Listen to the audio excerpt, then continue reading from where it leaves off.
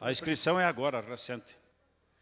Senhor presidente, senhores deputados, quero iniciar agradecendo ao deputado Galo pela gentileza de autorizar a minha participação no pequeno expediente, mas eu serei bastante breve, até porque eu quero apenas externar uma preocupação que tem o deputado Cobra em relação à Secretaria de Infraestrutura e Logística e mais pontualmente em relação ao DR.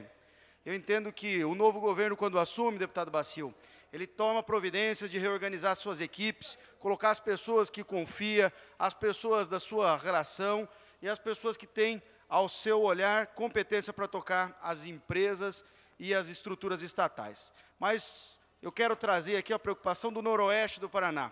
Vejo aqui o deputado Romanelli também, que representa vários municípios, assim como eu, do extremo noroeste do Paraná, e uma preocupação bastante séria que eu quero compartilhar com todos, e deixar isso aqui externado de maneira pública, porque eu não iria falar, deputado Arilson, mas ainda me encontrei com um vereador aqui de Ponta Grossa e ele me disse o seguinte, eu tive lá em Querência do Norte, eu quero fazer um relato aqui, deputado, porque você representa a, a região noroeste.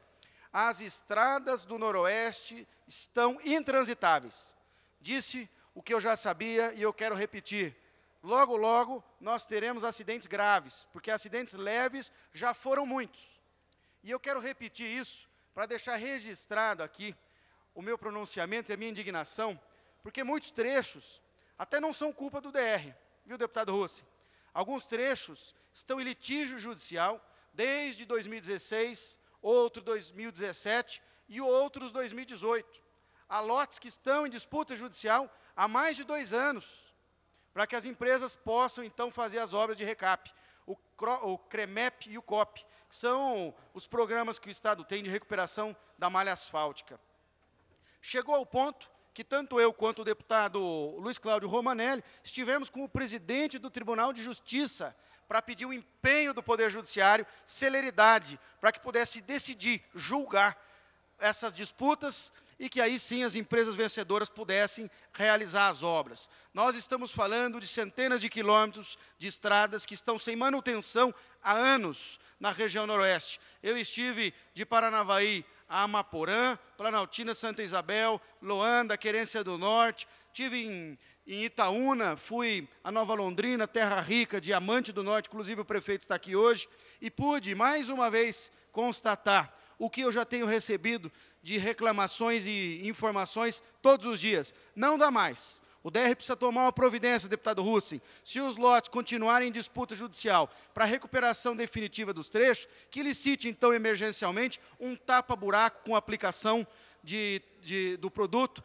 para que pelo menos se mantenha né, a cobertura dos buracos, porque hoje está sendo uma situação, está criando uma situação de risco de vida. As estradas do noroeste do Paraná estão em, em condições tão precárias que estão colocando aí a, a, condição de quem passa por ali, deputado Romanelli, em risco de vida. Eu não ia fazer uso do, da tribuna, mas achei por bem, única e exclusivamente, porque até o vereador de Ponta Grossa teve por aqui hoje reclamando das estradas, especialmente da, do trecho que liga Santa Cruz do Monte Castelo até o município de Querência do Norte. Vejo também o deputado Anibelli aqui, que também é deputado do Noroeste, tenho certeza que se soma a essa preocupação, mas eu queria, acima de tudo, deixar registrado aqui essa preocupação para que o DR tome medidas urgentes. Eu entendo a boa vontade do coronel, já disse a ele publicamente, disse a ele também em particular, dessa preocupação, mas eu sei que a administração pública tem outra velocidade, outra lógica, funciona num momento próprio e é diferente do anseio da população, é diferente das cobranças da imprensa, mas eu queria, mais uma vez, pedir o empenho ao governo do Estado e ao DR para que tome providências de caráter urgente, porque não dá mais para usar nenhum trecho das estradas que não são concedidas ali no noroeste do Paraná. Era essa a preocupação, agradeço a atenção de todos e, de maneira especial, a boa vontade do deputado Galo ter cedido o espaço para mim. Muito obrigado.